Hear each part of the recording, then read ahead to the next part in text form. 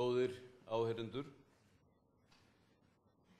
ég vil þakka viðskiptaráðs mönnum þeirra ágæta bóð um að tala hér á þessum vettfangi. Það hefur þetta gert áður á svipuðum tíma ársins. En árstímin er sennilega það eina sem er líkt því sem við nú búum við þegar þessi ræða er flutt. Nýliðin oktober hverfur okkur seint úr minni. Þá urðu veðrabrigði í íslensku efnaðarsnýfi og margt snýrist til illra átta, vandamál sem víða höfðu leynst og lengi búið um sig, leistust úr læðingi við eigin kjör skilirði.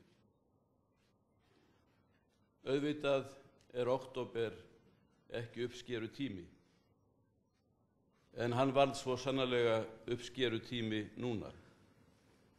Og uppskeran var ömurleg, mikluð og úr sér gengin, en var þó að mestu eins og sáð hafi verið til. Þið takið eftir því að ég segi að uppskeran hafi að mestu verið eins og sáð var til, því jarðvegur og veðurskilirði sem sáðmaður ræður litlu um voru að þessu sinni ekki til þess fallin að draga úr þeim skada sem fyrirhyggjuleysi sáðmanna olli. Og nú er uppskeran í húsi og margir menn reyðir og skildi engan undra. Því öllum er ljóst að sá uppskeru brestur sem orðin er mun eins og forðum gerðist um slíka hluti leiða til þess að þrengra verður í búi hjá flestum og afar þröngt hjá sumum. Þess vegna eru menn illir og argir sumir hverjir, en agaðir menn og rólindari eru sviknir og sárir. En þeir eru einnig til sem telja nú sér lag til að beina reyðinu og sárindunum fyrir vagn síns eigins haturs og hagsmuna. Og það hefur tekist fyrðu vel fram að þessu, það er ekki hægt að segja annað, enda tækin til þess enn til staðar og enn í réttum höndum. En sá leikur tekur vonandi enda og mun taka enda því það er rétt hjá Abraham Lincoln að þú getur blekt ákveðum hóp manna um ákveðin tíma en þú getur ekki blekt alla þjóðina um allar stundir. Og það er mikil eftirspurn eftir sökudólgum um þessar mundir en lítið frambóð. En aldrei slíku vant hefur svo mikla markasregla, mikil eftirspurn anspænis litlu frambóði, ekki leitt til þess að verð á sökudólgum hafi hækkað að ráði. En ég er ekki frá því að síðustu vikurnar hafi Sælabanki Íslands og fóristan þar verið í toppsæti á sökudólka listanum. Og það er eiginlega ekki hægt annað en að dásvolið þetta því að þetta við gengið svona lengi, svo langsótt sem það er. Og það magnað er að bakvið hann áraður allan standa meðar annars þeir sem mesta ábyrð ber á því hversu illa tókst til. Í öllu þessu gerninga, veðri og galdrafári hefur tekist að horfa fram hjá því að árið 1998 var lögum á Íslandi breytt svo að bankaeftirlit var undan Seðlabanka Íslands tekið og með því fóru næri allar heimildir bankans og skildur til að fylgjast með því sem er að gerast innan bankakerfisins. Eftir sitja verkefna borðið lausafjárskíslur, gengisjafnaða reglur, veðlán og fleira þess áttar sem litlu máli skipta í því sem nú hefur gerst. Allar leifisveitingar sem snúa að fjármálastofnunum voru færðar frá Seðlabanka til nýs fjármála eftirlits. Heimildir þess sem voru all viðtækar fyrir voru auknar og fjárframlög til þess hafa vaksið stórlega á undanförnum árum. Eftirlitið hefur víðtækar heimildir og úrræði til að fá upplýsingar úr bankakerfinu svo það megi gegna sínu hlutverki og úrræði til að knýja fram breytingar á háttsemi og heimildir til þess að fara ofan í hverja kitru og skúfu og skáp í bankastofnunum til að sannfæra sig um að þar sé allt með feldu. Seðlabankin hefur engin þess áttar úræði lengur enda hlutverki hans verið breytt. Hann getur þannig ekki sett tilsjónar eða eftirlitsmenn inn í bankana ef hann vildi eins og fjármál eftirlitið getur. Hann getur ekki staðreint hvort reglur um lánveitinga til eigenda banka eða til skildra aðeila sjöu virtar eða hvort veðtaka til dæmis gagvært lánu vegna hlutabrifakaupa séu með eðlilegum hætti eða ekki. Seðlabanki getur ekki komið í vekk fyrir að bankar opni útibú erlendis og safni þær innistæðum. Þessu var öllu breytt. Það má vera að það veri mikil mistök að færa fjármál eftirlitið undan Seðlabanka. En það er önnu saga. Það var gert og því þýðir ekki að láta eins og Seðlabankin hafi bæði þar skildur og þau úrræði ennþá á sinni hendi og þess vegna sé hægt að veitast að honum með offorsi fyrir að sinna því eftirlit ekki sem hann hafði á hendi fyrir réttum áratug síðan. Þeir sem kynntundir árásum á Sælabankan eiga flestir að vita betur og hafa þeir því viljandi litið fram hjá þessum megin atriðum. Er það ljótur leikur sem ekki hefði tekist ef skinsamlega skipan hefði komist á eignarhald fjölmiðla í þessu landi. Eftir að bankaeftirliti var frá Seðlabankanum skilin var samkvæmt lögum eftir það meginverkefni hans að leitast við að halda verðbólgi skefjum með því sem næst eina tækinu sem honum var til þess fengið, vaksta tækinu. Þá átti bankin að annast um greiðslukerfi landsins og sjá til þess að þau virkuðu og það hefur tekist meira að segja eftir að nær allt bankakerfið hafði hrunið að halda því í fullum gangi og var það ekki auðveldur leikur. En barátta gegn verðbólgu er megin markmiðið og vaksta tækið nánast eina tækið til að ná því markmiði eins og fyrr sagði. Ef önnur öfl í þjóðfélaginu taka virkan þátt í baráttunni gegn verðbólgu, þá virkar vaksta tækið ágætlega og því má beita af hóvarð en einmitt við hófsama beitingu virkar vaksta tækið best. Ef önnur öfl í þjóðfélaginu tók í aðrar áttir en Seðlabankin á hann engan annan kost en að beita vakstatækinu af minni hófsemd og jáfnvel fastað hófleysi og þá fjölgar þeim óheppilegu fylgikvillum sem vakstatækinu fylgja. Svo staða hefur því miður verið uppi síðustu misseri og ár vegna mikillar þenslu á ofnbjörnum vettfangi og gríðarlegar útlána aukningar bankakerfisins. Bankakerfið stærði sig opinskátt af því að koma mönnum undan því að vera háðir vaxtastefnu Seðlabankans með því að hefja lánveitingar í ellendri mynd til aðilar sem höfðu er eða litlar tekjur í þeirri mynd. Þetta hvortfekja var skadvaldur gagvært verðbólgu og þeim sem líða fyrir þegar verðbólga vex. Íðurlega hefur mikið verið um það rætt að endur skoða þurfi peningamálastefnuna eins og það heitir. En sjaldan fylgja skinsamlega skýringar á því atriði óskalistans. Engi vil þó segja beint að það er að hætta að berjast gegn verðbólgunni þó sumir hverju vilji hleypen í gegn eins og það er orðað. Það er látið næja að segja að endur skoða beri peningamálastefnuna. Það er mátulega þókukend yfirlýsing til hún fari vel í munni þeirra sem ekki vita nákvæmlega hvað þeir eru að tala um. En þrátt fyrir óljós markmið á þessu tægi hefur Seðlabankin valið þann kostin að taka vel í þess áttar hugmyndir og hvað til þess að menn endur skoði peningamálastefnuna og geri það sem allra fyrst. Reyndar er það svo að á þá stefnu er reglubundið hort og hún er að því leyti til endurskoðuð af ellendum sérfræðingum tvisvar til þrísvar á ári.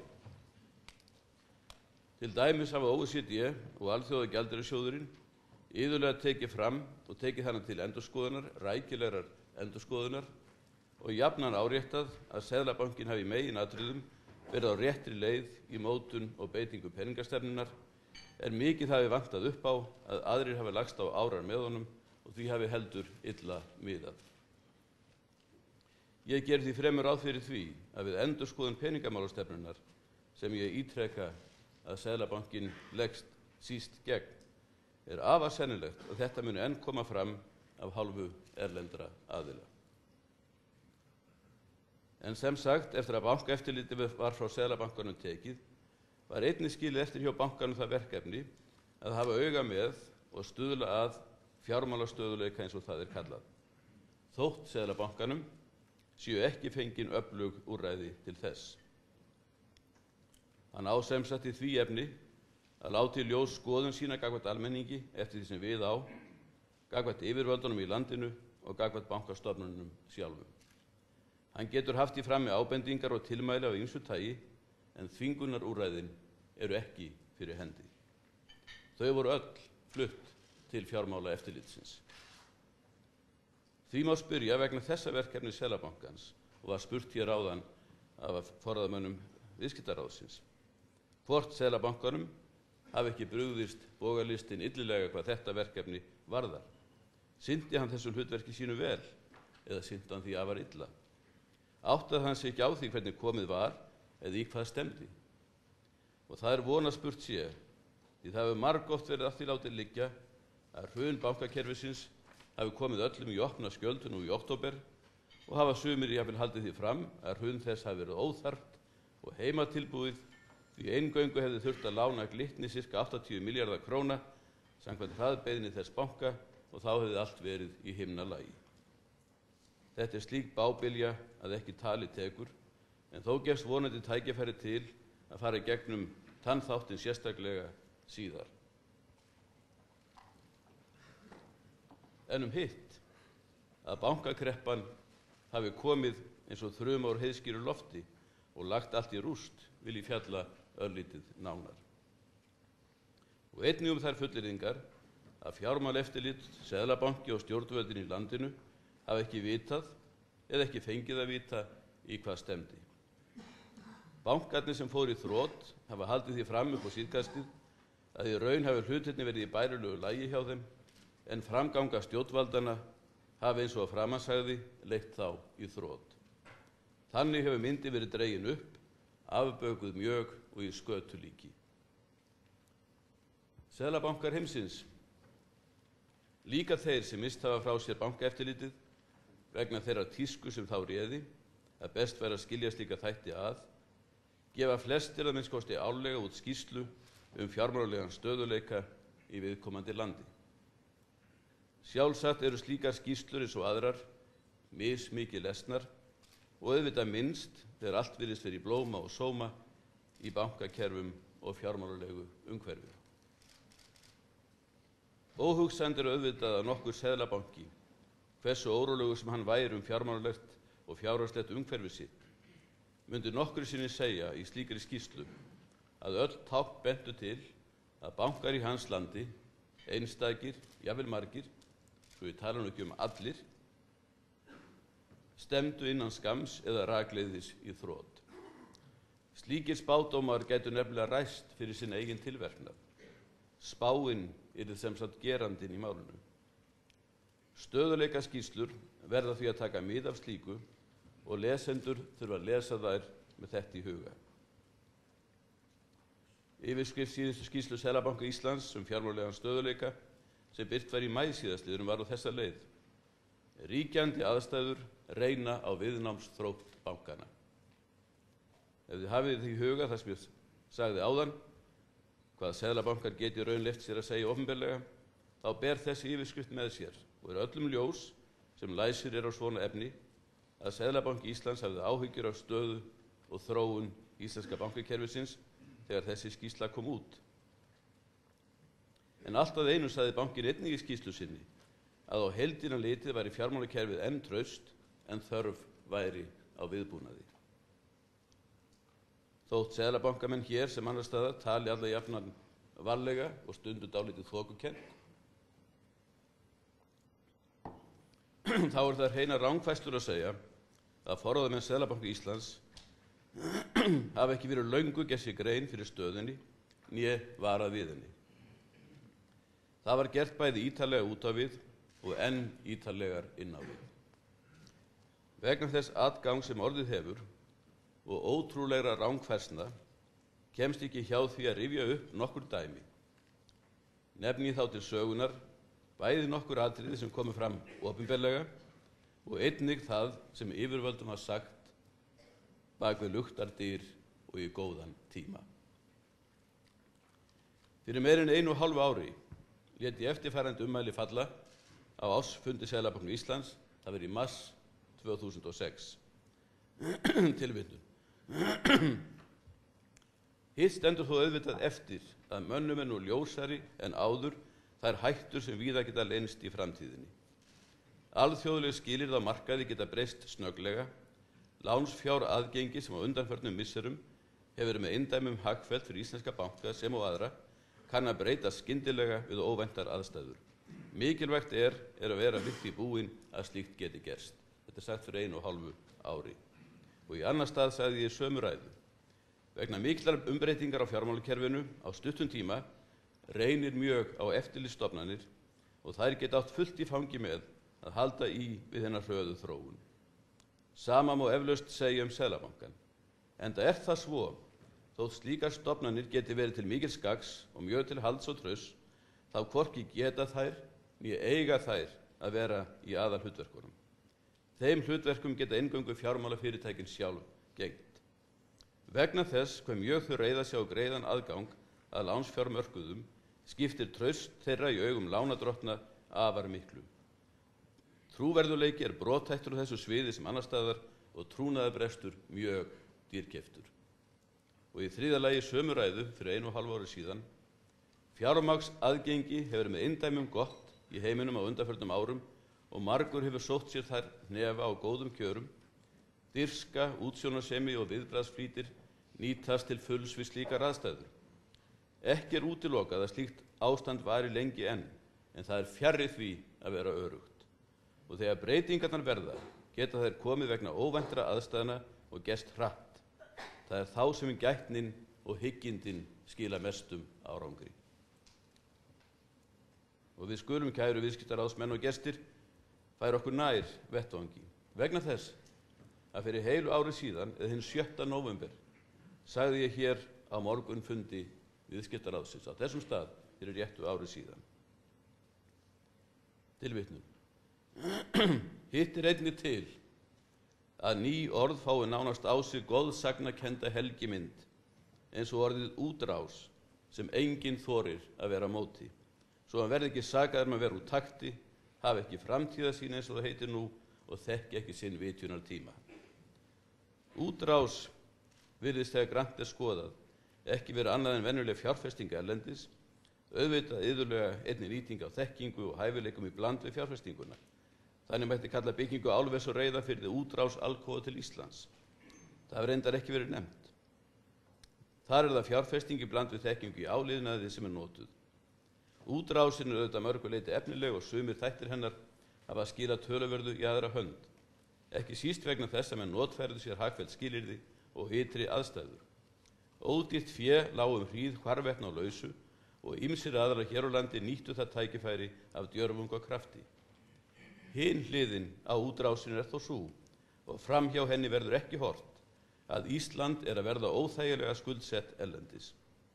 Á sama tíma á Íslenska ríkið hefur greitt skuldi sína hratt niður og illendar og erlendar eignir Sælabankans hafa aukist verulega, þá hafa aðrar erlendar skuldbindningar þjóðabúsins aukist svo mikið að þetta tvent sem ég áðan nefndi er smáræði í samanbörðu við það. Allt getur þetta farið vel, en við erum öruglega við ytri mörg þess sem fært er að búa við til lengri tíma. Það var sagt hér fyrir árið síðan.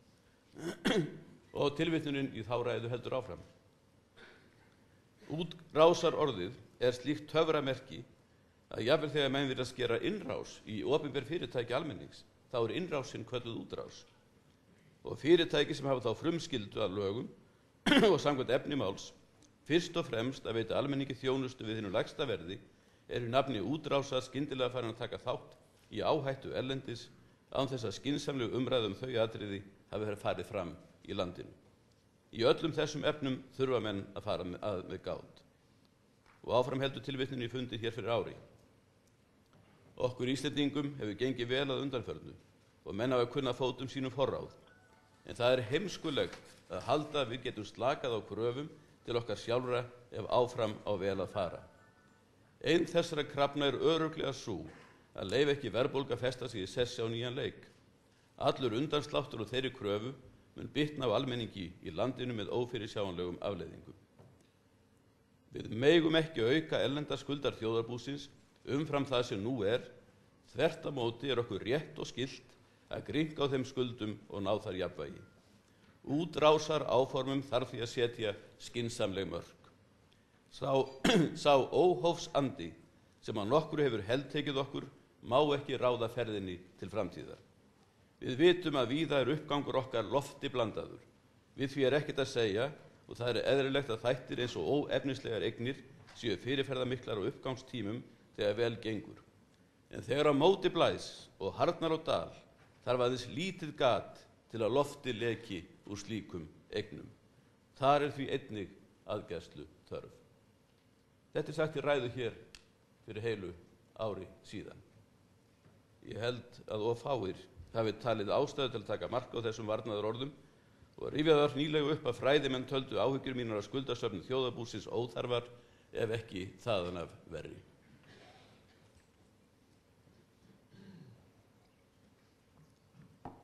Ég vil ljúka þessum tilvittunum mínum í ofinberra aðvaranum með orðum sínit falla í mars á þessu ári á ásfundi Selabankars. Ég hafi þá fjallað um að ýmsir teldu að sá vandi sem þá var við að glíma væri ímyndunarvandi og staðan væri raunverulega góð og þess vegna myndi þetta allt saman lagast af sjálfur sér. Tilvitnun hefst. Hætt er við að þeir sem settu sitt tröst á svo hagfölda þróun hafi nýtt tíman verri en skildi frá því ágúst 2007. Bankastjórin stærsta banka heims sagði sem svo meðan hljómsveitin spilar dönsum við. Hann var látin hætta skömmu síðar þegar bankin síndi óverlegt tap en með ótrúlegar fúlgur í farteskinu fyrir sínda fyrirhyggju og framsýni. Af svipuðum ástæðum munum margir þóla verð byðina eftir betri tíð. Auðvitað er það enn ekki óhugsandi að sterkir vindsveipar komur óvæntri átt og hrindi óveður skíjónum og augabræði af himni markaðurins og skuldsettar yfirtökur skuldsettra fyrirtækja undir umsjón lánastofnuna bjóðandi lámarskjör og librar tryggingar komi á ný og þá muni aftur morgna á markaði íslenskum sem öðrum. En þótt þetta sé ekki óhugsandi og dæminn sanni að markaðurinn sé ólíkinda tól er hætt við að vinningslutfallið í byðinni og voninni sé lakara heldur í lottóinu. Því er rétt að ganga út frá því sem vísu að ástandi muni lítið lagast í bráð þótt að kunna lagast og farið því fjarrri að allt verði eins og áður. Hafi menn ekki þegar tekið sér tak er ekki lengur neins að býða. Leitað þarf allra leiða til að styrkja lausafjárstöðu fyrirtækjana, ekki síst fjármálafyrirtækjana og samhliða þarf að skoða markasmótilinn rækilega upp á nýtt. Það má segja að á knaspindum máli myndi þetta tíða að nú sé rétt að pakka í vörn og láta sér næja marks von með hraða upplaupi ef tækifæri bjóðast þrátt fyrir allt. Þótt íkt bölsýni sé auðvitað til óþurftar er jafn vond eða verra að gilla stöðuna fyrir sjálfum sér og almenningi og gefa til kynna að einhvers konar töfraleið sé til út úr þessum vanda. Að ljúað öðrum er ljótur vani, að ljúað sjálfum sér hvers manns bani, sagði þar. Þetta voru dæmi um þung aðvörun orð af halvu Sælabankans flutt ofinberlega á eins og háls árs tímabili til viðbótar marg ítrekkaðri umvöndun yfir því að bankarnir skildu vera að lána almenningi og fyrirtækjum í erlendum gjaldmiðli sem viðkomandi hafði ekki tekjur í. Vissulega komist margir þannig undan aðgerum Seðlabankans til að knýja velbókunar nýður. Þau undanbröð urðu til þess að vexti Seðlabankans urðu að vera herri en ella og standa lengur hátt. Á þessi aðvörunar orð var lít hlustað og því ekki eftir þeim farið. Og enn spyr ég hvort ekki sé líklegt að það hefði fremur verið gert ef fjölmiðlar landsins hefði ekki verið í þeim heljar fjötrum sem þeir hafa verið í um allanga hríð. Auðvitað voru þess áttar varnaður orð og upplýsingar yfirlega setta fram annar staður heldur um ofinbellega, bæði á fundum í bankaráði með forráðamönnum fjármáleftilits og forráðamönnum bankana og stjórnvöldum í landinu. Var þá hægt að hveða fastarað orði en gert var ofinbellega. Bankasjóðin átti þannig allmarga fundi með ráðurum og embættismönnum til að lýsa þungum áhugum sínum. Þar með talið allmörgum fundi með báðum formennum stjórnaflokkana, ímsum öðrum ráðurum og embættismönnum. Viðbröð þessar aðila voru ekki óeðlileg. Þau voru oftast nær þau að í kjölfærið að fundi með bankasjóð Selabankans áttu þeir fundi með fórustumennu viðskiptabankana sem fullvísuðu ráðamenn um að áhyggjur Selabankans væri að minnskosti mjög yktar, fjármögnum bankana verið góð út árið 2008 og nánast að fullu tryggð árið 2009.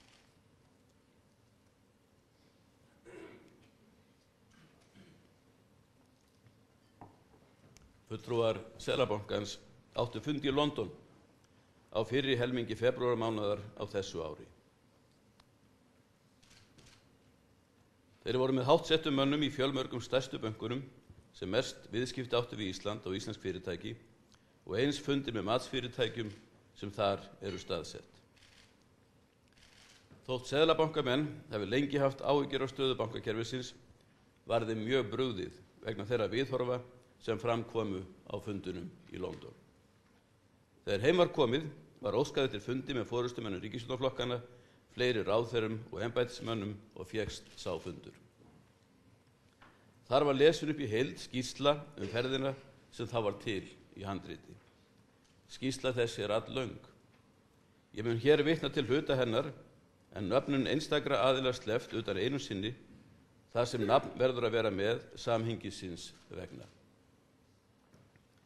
Í fyrir tilvittnuninni segir svo. Ljóst er að áhyggjur af Íslandi litast engöngu af áhyggjum af íslensku böngunum og talið að fyrirferð þeirra í fjármáralífi Íslandinga sé slík að verði þeim haldt á svelli þá detti aðrir með þeim. Eftir almennan gegnumgang um stöðu efnaðasmál og þær breytingar sem orðið hafa og það sem snýr sérstaklega ríkinu og verkefnum Seðlabankans var fjallatöluvert um bankana af þeirra hálfu. Loka spurning þeirra var síðan svo, hvað gerist ef íslensku bankarnir komast ekki eða ekki svo neinu nemi á markaðina næstu tól mánuði eða svo.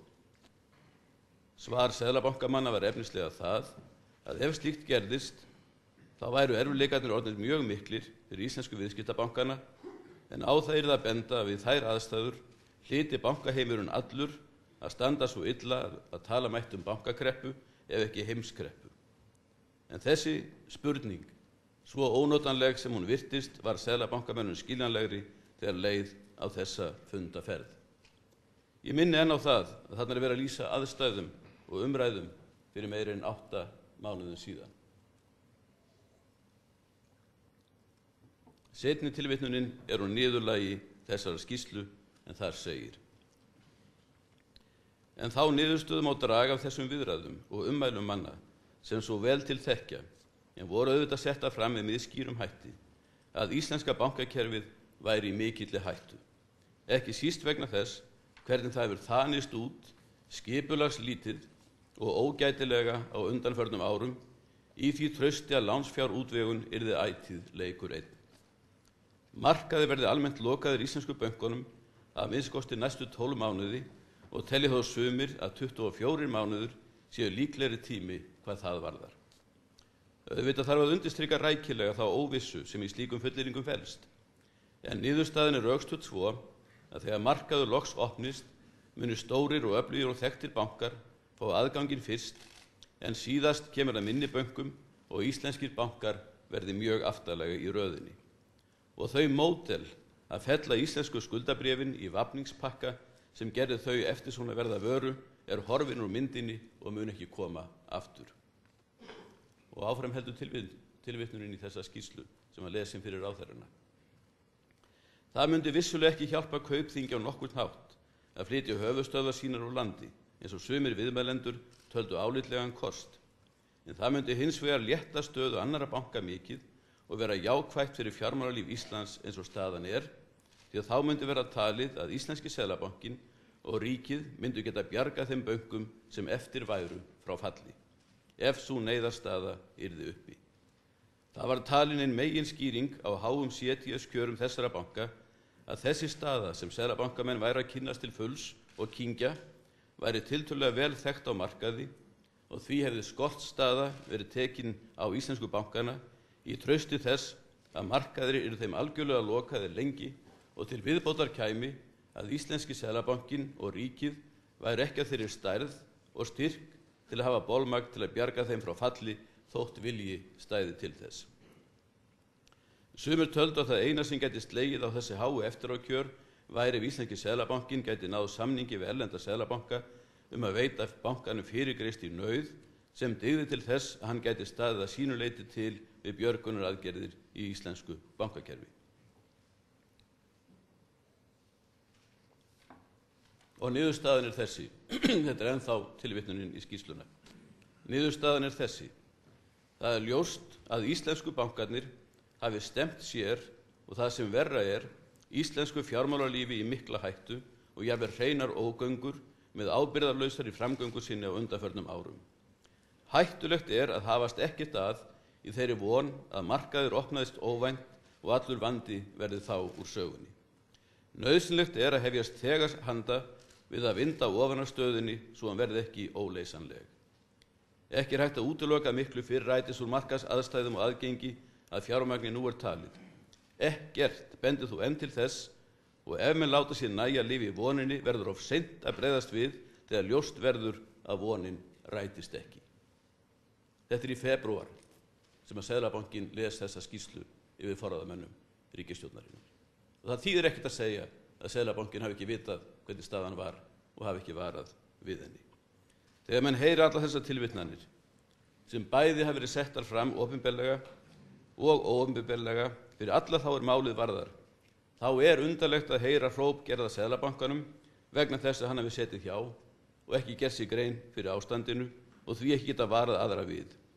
Þessi dæmi og svo mörg, mörg, mörg önnu sem hægt væri að rekja ef tími gefist til sína glögt að Sæðlabankan var veljóst og jafnvel betur en öðrum hver alvarleg staðan var og rálaði eindregið að brugðist yrði við. Rekið Sælabankastjórana er hrópað á torgum og undir það taka þeir sem telja bankastjórnir liggi vel við höggi og áróðusmaskínan fylgi vel á eftir. Áróðusmaskínan sem hefur innan gæðsalappa, áróðusmaskínan sem hefur verið misnótuð grímulaust undan farin ár eins og Egil Helgason, velurna sjómasmæður, orðaði það síðastliðin sunnudag. Nú má vel vera. Að gott væri að selabankastjórarnir færi að gera eitthvað annað en þeir gera núna en það er önnur saga. En það er sláandi að þeir sem gera nú hrópað selabankamönnum þáðu þunnu hljóði þegar banki reynda að vara alla við sem mestan mátti. Það þarf að rannsaka allt er sagt núna. Það þarf að velta við hverjum steini en það er ekki verið að rannsaka neitt og það sem verð er það er ekki verið að upplýsa almenning um eitt eða neitt Seðlabankin óskar eindreið eftir því að hlutur hans í aðdraganda bankarhunsins verði rannsakað til fulls og það verði gert sem allra fyrst og fengnir til þess færustu ellendu sérfræðingar. Seðlabankin kvíður ekki þeirri rannsók. Verði niðurstaðan hins vegar svo að hann hafi brúðist þarf engan bankastjóra reka. Það minnskoðst ekki þann sem hér stendur, hann fara á nokkrar tafar og á nokkura eftirmála. Ég ítreka að Selabankanum finnst ekki aðeins æskilegt að þáttur hans verði rannsækaður. Hann beilis krefst þess vegna þeirra ásakana sem uppi hafðir hafðar jafnvel af ábyrgum aðilum. Þá verður frólægt að skjá hvort margir aðrir aðilar hafi hreitni skjöld en Seðlabankin í þeim efnum. En við þau tímamót sem nú hafa orðið, þegar talað um rannsóknir og að velta yfir hverjum steini, af hverju þá ekkert upplýst um hvers vegna bankarnir hundu? Af hverju fær almenningur sem á að borga brúsan og sá brúseringi smá smíði, engar gaglegar upplýsingar, þótt allt ætti nú að vera á borðinu hjá þeim sem hafa mál hinn að föllnu banki í höndunum og alltaf blasa við eins og opinn bók. Niðurfelling forðamanna kaupþings á ábyrðum sínum annara hafði leiði fyrir vikum saman á svo nokkuð væri um það upplýst. Það var ekki fyrir nexlaðir starfsmenn lágu þessum upplýsingum út sem þær urðu almenna eign. Og síðan hefur ekkert verið upplýst hvernig þeir máli verður fyllt eftir. Ábendingar sem bárust um að kalla til lauruglu strax í upphæfi hafa ekki fengið brautargengi. Eru menn að bera fyrir sér bankalind í þessu sambandi? Bankalind á ekki lengur við hvað þessi atriði varðar. Sú reyði sem kræmar í þjóðfélaginu og hægt er að beina í ýmsar áttir af áróðusmaskinum er ekki síst kræmandi vegna þess að það er ekki verið að upplýsa almenning um eitt eða neitt. Af hverju hefur það ekki verið upplýst að einn aðili skuldaði 1000 miljardar í íslenska bankakerfinu? Og þá er engungu verið að tala um viðskiptabankana þrjá, ekki spærisjóðuna, lífeyrissjóðuna eða ymsa aðra aðila sem viðkomandi skuldaði nýja erlenda skuldir sama aðila. Eftir að banka eftirliti var fært frá Sælabankanum gæti hann ekki aflað sér upplýsingum um slíkt. Hann gæti ekki vita það, en það vissu aðrir. Á því getur ekki verið neitt vafi. 1000 miljardar skuld eins aðila í íslenska bankakerfinu er erfitt að skilja, jafnvel svo að erfitt er að leiða hann hjá sér, að leiða hann ekki hjá sér. En það má ekki víkja sér undan að horfa á þessa mynd. Einn aðili skuldaði með öðrum orðum bönkunum þremur um með yfir 1000 miljardar króna. Það er hærri fjárhæð en allt eigið fyrir gömlu bankana samanlagt. Bankastjórarnir sem lánuðu hver fyrir sig hlutu að vita að samanlagt væri dæmið þannig. Vegna þess að þeir horfðu ekki aðeins á lánsfíu eigin banka, heldur fenguður öll gögn vegna veðtöku áðunir stærstu einstöku lán bankans voru veitt eða það skildu menn ætla. Og eftirlis aðlar hljóta hafa vita það líka og hafa því tekt sér með ólíkindum langt til að finna út að sami aðili væri óskildur sjálfum sér við þessar aðstæður. Hvernig í ósköpunum gat þetta gerst? Hvaða heljartök hafði viðkomandi á bönkunum og öllu kerfinu? Það er algjörlega víst ef ellendum viðskiptaðunum bankana hefði verið þessi staðaljós hefðu öll viðskipti við bankakerfið þegar verið stöðuð ellendis frá og bankarnir hefðu í kjölfærið hrunið. Er hugsanlegt að umræða hefði skapast og vaknaði í þjóðfælinu þessi atrið og annur ef allir frjálsri fjölmiðlar sem er enda skondið orðið þessu samengi hefði ekki verið í höndunum á eigendum bankana. Og það hefur verið upplýst að nýju bankarnir haldi áfram háttum gamlu bankana og láti menn sem skuldi verið þúsund miljardi í bankakerfinu ekki gjaldþrótt en gangi fljótt og vel aðinu aðunum Jóni og aðinu Gunnu sem eru þó orðin eigendur bankana á ný. Menn virðast ekkert hafa lært og eru jafn hrættir og fyrr. Ég ítrekka að Seðlabanki Íslands hvetur eindriði til þess að hlutur hans í bankahrununu sem ymsir vilja gera sem mestan verði rannsakaður. Svo rannsók verður einföld. Starfsmenn Seðlabankans hafa ekkert að óttast.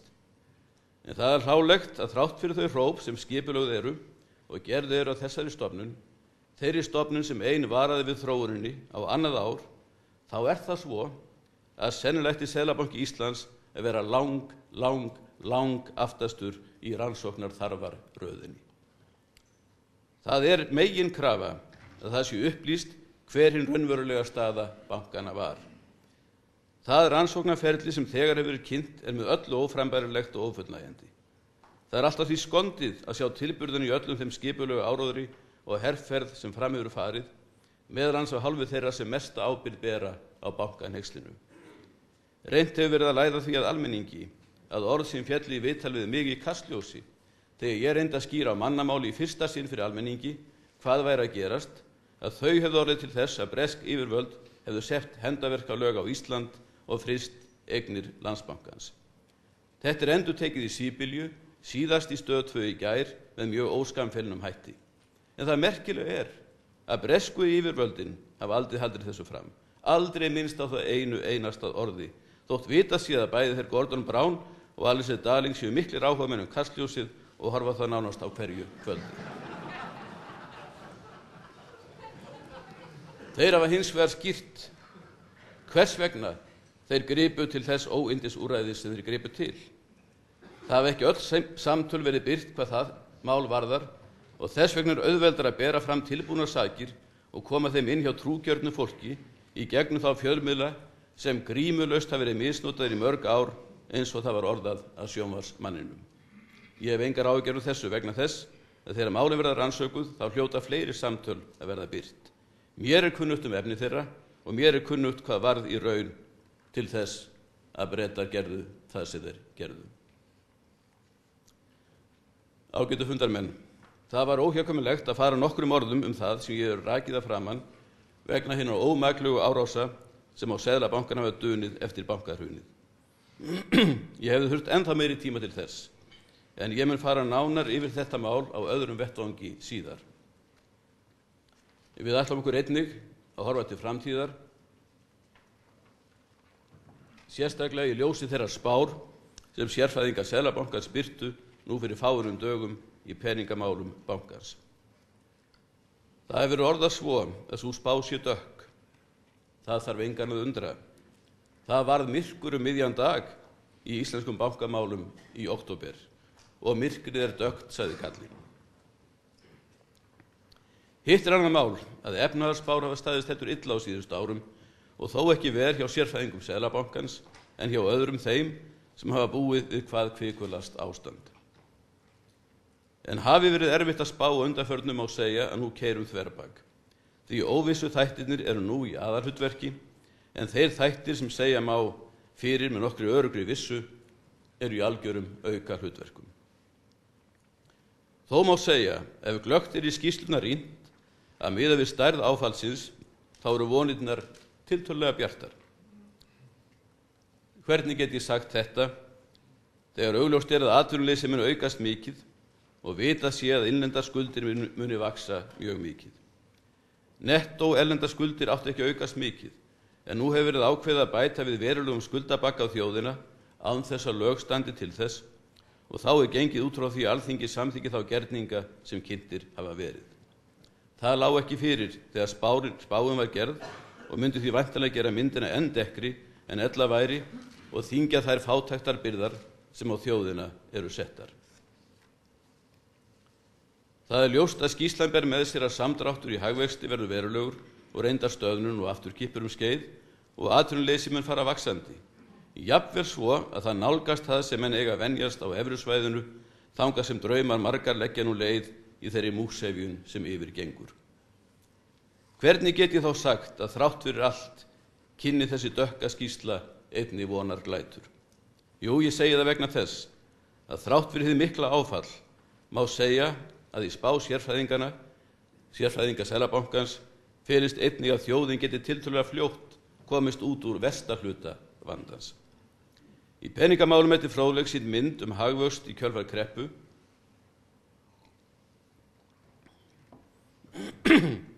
og síndur samanburður margra landa sem gengið hafi gegnum slíkar kreppur.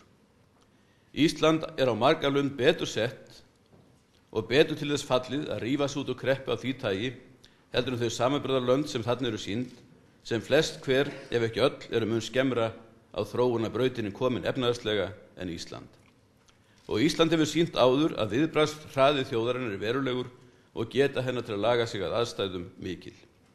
Á móti kemur hitt, og úr því skal ekki dreyið, að það sem lagkara er enn á samanbröðarmyndinni nú, er að um þessar myndir er heimurinn allur í efnaðslegum mótvindi og það gæti haft áhrif til að hægja á endurreysninni hér.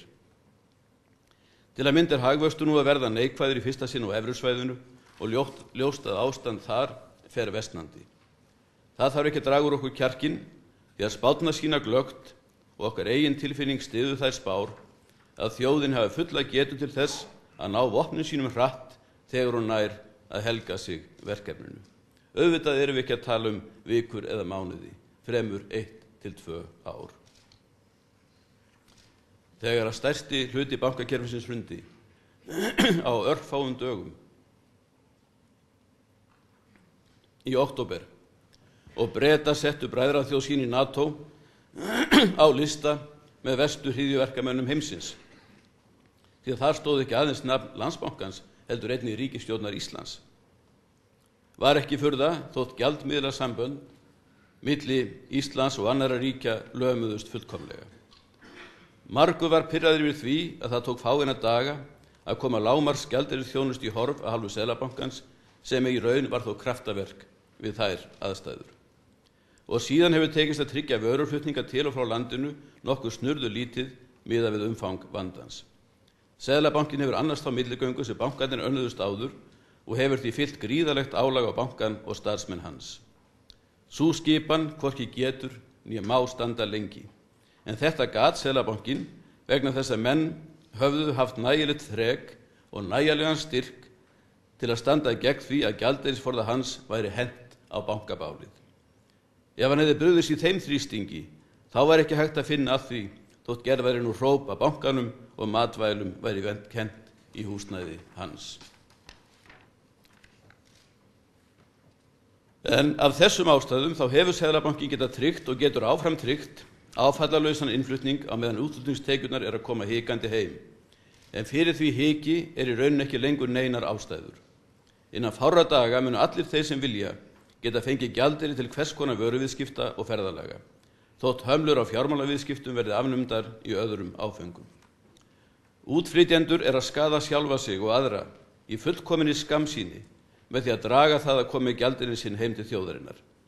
Þeir þurfa ekki að óttast að geta ekki fengið alla þann gjaldir sem þeir þurfa þegar þeir þurfa.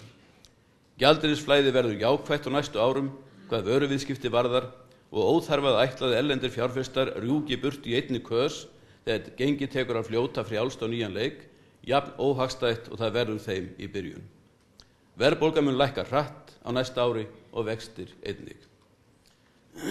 Góður fundamenn, ég legg að lokum áherslu á að það verður að fara að upplýsa þá sem borga brúsan, almenningi landinu, hreinskilnislega hvernig bankarnir stóðu áður eðin fjallu og hvernig menn höguðu sér áður en það gerðist. Þá fyrst mun hefjast upplýst umræða. Ef til vill í upphafi með þungareiðinar sem ekkert er við að segja og skiljanlega er, en hávaða menn mun þá fljótlega missa tökin á atbyrðarástinni og það er það mikilvægasta sem nú getur gerst við uppbyggingu á efnagslífi þjóðarinnar. Fullirt hefur verið að Norðurlanda þjóðurnar hafi óvænt sett fram þau skýrirði að við tækjum á okkur umfram lagaskildu áhættu af yfir 600 miljardar krónar skuld vegna æsef reikningana, ella myndu þær ekki vilja lána okkur miklu læri uppæð hver þjóð. Ég vil ekki rengja þessar upplýsingar, þótt ég hef ekki síðan neitt skriflegt um þær. Vinnur okkar færiðingar setta minnst kosti enga slíka afarkosti fyrir sinni aðstóð. Það hefur verið sagt að sannir vinir séu þeir hólátu englar sem lifta undir mann þegar maður sjálfur hefur mist flugið. Færiðingar eru þess áttar englar hafið þeir heila þökk og blessun.